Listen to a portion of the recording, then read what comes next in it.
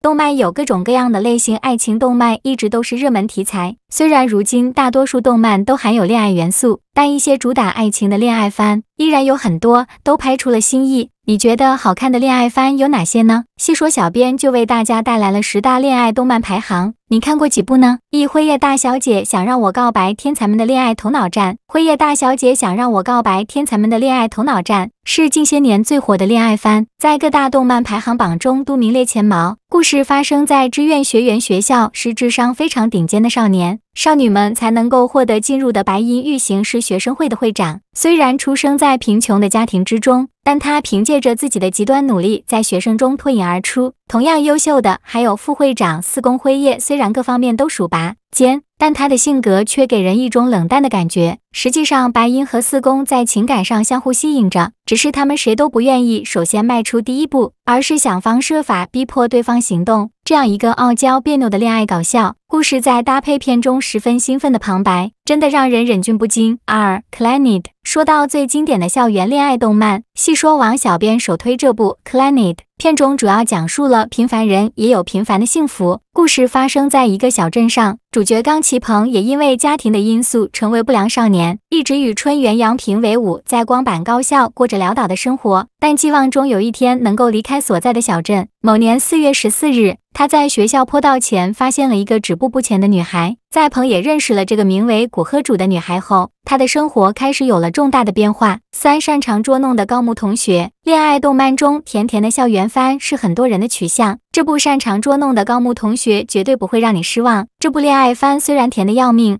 但是却不走寻常路。虽然是以青春期的少年少女作为主角，但并不是因为是青春期，所以就黏黏腻腻、缠缠绵绵，而是要角色保持一种纯真无邪。偶尔捉弄对方，总的来说，这是擅长捉弄人的女孩子和傻乎乎呗捉弄了之后一本正经想要报仇的男孩子，他们之间轻松愉快的故事，一定可以让你回忆起曾经的校园时光。四高分少女，这部高分少女总的来说就像部九十年代阶级恋爱喜剧故事中，除了阶级文化之外，也有恋爱要素。以一九九零年代为背景，描述热衷于格斗游戏的小学生石口春雄，某次在电玩店与女主角大野晶因互相较量街头霸王二而认识。由于身份上的差距，毫无交集的春雄和晶偶然发现有着共同兴趣，原本只是互相切磋技术的好对手，不知不觉间两人的关系开始有了变化。实质上是部披着怀旧游戏翻皮的爱情动漫《五蜂蜜与四叶草》。蜂蜜与四叶草是许多漫友心中日本爱情动漫的经典之作。漫画原作曾获得讲谈社漫画赏少女部门的最佳作品奖，动画则获选为二零零五年第九回日本文部省文化厅媒体艺术及动画部门推荐作品。故事中，美大学生竹本真山森田一开始在破旧不堪的公寓中过着贫困而快乐的生活。然而，插班生叶久美的出现改变了平静的一切。之后，以各自感到恋情、苦于思念的两对三角关系为中心，这样生活就围绕着以两个各自感到痛苦的三角关系为中心，各自的心情、各自的烦恼，而展开一串串虽然有些悲伤却又有趣的故事。六犬夜叉。犬夜叉这部经典日漫是很多人的动漫启蒙了。作者在九十年代就写出了这部含有穿越、人兽等时髦元素的作品。故事背景设置在日本战国时代，主要讲述的是初三女生日暮歌薇偶然通过自家神社的石谷之井穿越时空，来到五百年前的日本，与战国时代妖怪与人的混血半妖的犬夜叉，为寻找散落于各处的四魂。治愈碎片而展开的冒险之旅，相信看过这部作品的人都会为犬夜叉、桔梗歌薇的三角恋而伤神。还有一部分人像细说小编一样爱上了杀生丸大人。七美少女战士，美少女战士是九十年代女性漫画中的巅峰作品，漫画家五内直子原作连载同时期动画化，广受支持的超人气作品。曾一度引发热潮，成为一种社会现象。改编的动画版也大受欢迎，讲述了主人公月野兔在某一天意外救下一只头上有月牙印的黑猫露娜，并从此改变他个人的命运，获得了变身胸针，成为爱与正义的水手月亮，开始对抗黑暗势力的漫长故事。这部曾是西说网编小时候每天放学回家追看的经典恋爱番。片中月野兔和夜里服假面的。爱情线当年真的让我牵肠挂肚。Banana 动漫中关于梦想、关于爱情，永远都会有讲不完的故事。这部改编自日本漫画家史泽爱的同名少女漫画作品的奈奈就是其中的佼佼者。它不仅是部爱情动漫，还糅杂着成长与梦想，讲述了两个名字发音相同，但性格经历迥异的女孩子意外相遇并相识后，从此生活、梦想、爱情、挫折就这样交织在一起，再也不可分割，命运交错在一起的故事。有句流行语：“这个世界上肯定有另一个我，做着我不敢做的事，过着我想过的生活。”这部动漫就把这句话具象地展现了出来。九交响情人梦，交响情人梦。是一个关于两个音乐天才的爱情故事。身为名钢琴家之子的优秀音乐大学生千秋真一，想要赴欧学习指挥，却因为飞机恐惧症而一直无法出国。某次无意中听到同系学妹野田惠美妙的钢琴声后，深深受到吸引。其后真一更发现野田惠原来是自己的邻居，是一个极具音乐天赋但性格古怪、生活习惯邋遢的怪人。在长时间的相处中，两人相互理解、相互支持，成为了一对恋人。这部恋爱番是难得的，每个版本都好看的神作。细说小编看的真人版也让人少女心泛滥。十元气少女缘结神，元气少女缘结神是部超好看的恋爱番。女主角奈奈生因好赌的父亲在欠下一屁股债后离家出走，然后阴差阳错成为了土地神。后来遇到了此处的土地神御影的神使八位，视为临时土地神的奈奈生为主人，两人开始不和。但相处之后，奈奈生发现了八位虽然口上不饶人，但是其实优点很多，并且很可靠，渐渐喜欢上了八位。这是一部可以让人的少女心迸发的搞笑恋爱动漫，想看甜甜的爱情，追它就对了。